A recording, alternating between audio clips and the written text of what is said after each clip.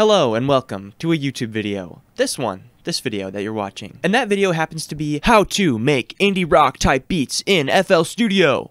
Type beat type video tutorial gone wrong. Not clickbait. So indie music in general is one of my favorite genres of music, whether that be indie folk, indie rock, indie pop. Indie rock specifically is kind of like the big one. It's like the staple of indie music that people normally think of. And I've been making a ton of these beats recently, so I'm going to teach you guys how to make them as well also here today. First things first, you're going to need one of these a guitar. Specifically this one on the end here, an electric guitar. So when it comes to what we're actually going to play on the guitar, what you want to do is just take a very basic chord progression with maybe four chords in it or something, and then you're going to take those chords and you're going to turn them into seventh, maybe even ninth chords if you're feeling a little fancy. So if I had a little chord progression that sounded like this, Obviously it sounds cool like that, but we can spice it up and make it a little bit more indie. I'm going to play the exact same thing, but I'm going to change all those chords to 7th chords.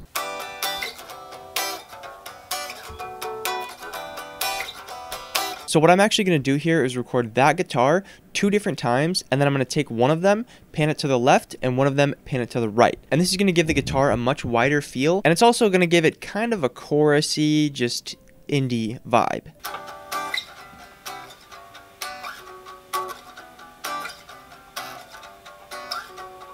So when you've recorded both your guitar tracks, what you want to do is just double click on this, press Ctrl L, and then do the same thing with the other one. And now we have them each assigned to their own mixer track. Pan one to the left. You can do 50, 60, 70%, just whatever you think sounds right for your track. And then what I like to do is control and click on both of these, and then just go down here on some empty mixer track, right click and do route to this track only. And now we have both of these guitars routed to this pink track right here. The reason that I do this is so that I can add effects onto just the pink track, and then it'll affect both of the guitar signals. So the next thing I'm going to do here is the drums. I'm going to record the drums on on this drum set right here, if you want to learn how to record drums in FL Studio, there's a video right there. So when it comes to indie style drums, you want to have a very dead, very muted kind of drum sound. So this means we're going to be using a lot of muting. I have a whole t-shirt right here on the snare drum. We've got a sleeping bag inside the kick, got some cloth on the hi-hats, the whole nine yards.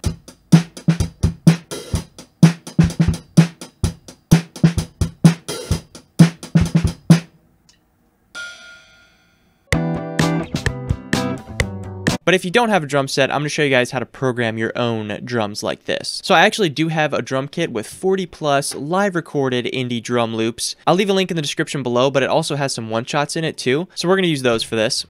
So very simply, just with a kick, snare, and a hi-hat, what you can do is place your snare like this, and then just a little two-step hi-hat pattern, So with your kick, you can kind of just fill it in wherever you feel that there needs to be a kick. But a lot of these drum parts are going to be built around this kind of pattern. Kick here and then kick here. So it's going to be like this. But we can obviously embellish this a little bit. So let's add two here, and then we'll add um, a snare before this one, and then maybe one after this snare. So it sounds something like this. I actually made a video a while ago on how to program more realistic sounding drums. That'll be up there if you want to check it out. But I'll show you some of the tips right here as well. Take the velocities of the hi-hats and alternate every single one. And then with the kicks and snares, you can press Alt-R, and this will just kind of randomize the velocities a little bit so they're not all the same. So that is how you program some live sounding, indie sounding drums but I'm going to use the ones I recorded. so next up here, what I want to do is record some bass. So naturally here we have a bass guitar. So once again here I am aware that not everybody has a bass guitar. I myself didn't have one for a long time. So what I did was I turned my electric guitar into a bass guitar. But as you can see I actually do have a bass guitar so I'm just going to use that. So as far as what you want to actually play on the bass you could get away with just doing the root notes of the chords you played. But I'm going to add a couple extra notes in there just to make it a little bit more unique and give it some more flow to it.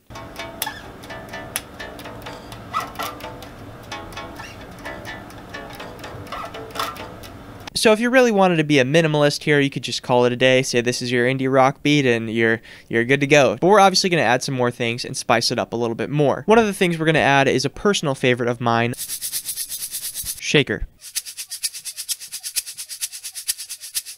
If you wanted to, you could also do a little tambourine action. In general, I like to have something up there in the high end that just kind of adds a little bit more to the track, fills it out, and kind of adds to the groove as well. Oh, you thought we were done recording guitar? You would be mistaken. Since we have just a very simple four chord chord progression, it's going to get a little repetitive after a while. So what you want to do is add some sort of lead guitar sound in there. The way that I do this is very technical, very scientific, and complex. I basically just play around with notes on the fretboard until I find ones that sound good, and the ones that sound good, I'll craft a melody out of those ones, and naturally the ones that sound bad, I don't play those ones.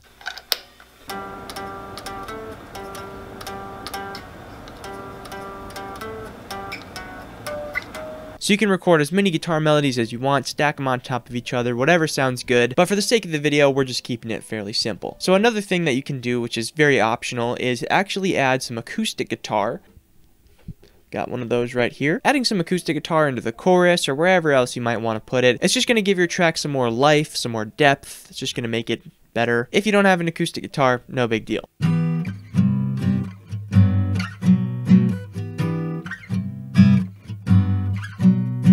So the final instrument that we're going to add is some sort of pad sound or maybe a little organ or electric keys, something like that. This would be great for people who don't have an acoustic guitar because it'll really beef up your track a little bit and we're just going to use a plugin for it. So we're going to use Expand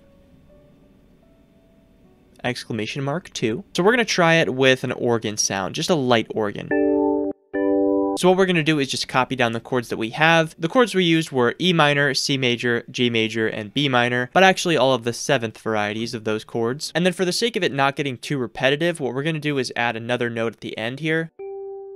But this isn't really the main focus of the track. It's meant to be more of just a layer, so we're going to keep it more simple. So now we can get a little bit more into the mixing side of things. I'm not going to go super in-depth into the mixing process because it's a whole other thing on its own. The main idea though is that you want everything to fit together nicely. Nothing's too loud, nothing's too quiet. You want everything to just sit exactly how you want it to in the beat. And a lot of that has to do with just simple volume and leveling kind of stuff. Starting off with the main electric guitar, this is technically it's two guitars. I'm to put on CLA Guitars by Waves. We're to pick the stereo option because it's in stereo. I like to go to the presets and then do electric and clear tone and then put this knob up to clean and then just mess with the settings until you get something you like. But as you can hear, this makes a huge difference.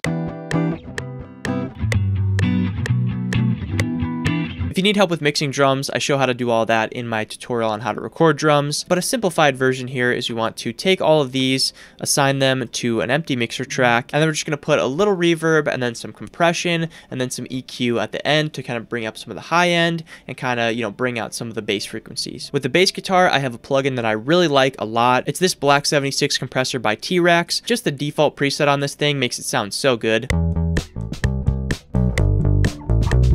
For the shaker, you don't have to do anything too crazy. You can maybe cut out a little bit of the high end. And then I like to pan it a little bit far to one side. Which side you pan it to is going to depend on the beat that you're making. But I think panning it to the right sounds good. With acoustic guitars, I like to use CLA unplugged, but you can just also slap the FL Studio default reverb and EQ and all that kind of stuff on there. And then with the organ sound, the little layer that we added, I want to have this with a lot of reverb. Just a lot of like realistic reverb so it sounds like it's in a big room or something. So we can take this and just go large hall. So that's pretty much the basics of what we want to do with the mixing. And now the last thing we're going to talk about is how to lay out the beat. So you really just want to get creative with this. I a lot of times like to start off with the main guitar pattern let that play a little bit and then maybe bring in the lead. And then right there, you could bring in the shaker as well. One thing that I would not recommend doing though is stacking up all of the layers like this and then having the drums drop in here it's just going to feel very lackluster because you're not adding anything in there when the drums drop in. So you want to usually go from a section where it's a little bit thinner, you have less instruments to, you know, having more instruments. We'll have this play for a little bit and then we'll keep the drums going, keep the bass going, maybe take out the shaker and then just have these in there and then add the shaker in here maybe, maybe even add the organ sound in here. Honestly, just get creative as long as you don't let it get repetitive and as long as you don't overcomplicate it because it is possible to overcomplicate the layout of a beat. Just adding like a ton of filter sweeps loops and volume automations and effects, all kinds of crazy stuff like that. This genre of music doesn't really require that. It's more simple, more stripped down. So we want to kind of stay true to that. But you can definitely add a couple crashes in there for transitions and stuff like that. That'll make your beat sound a little bit more professional. So yeah, I think that's pretty much going to do it for me in this video here today. Hope you guys enjoyed this one. I hope this video helped you out so now you can make some epic indie rock beats of your own. I've actually been posting a bunch of stuff like this on my beat channel if you want to go check that out. I'll be uploading these kind of beats or whatever other stuff I'm working on pretty consistently, so you can go check that out. But yeah, like I said, I hope you enjoyed. My Instagram and all that other social media stuff will be down in the description below if you want to go check that out, and I will see you guys next time.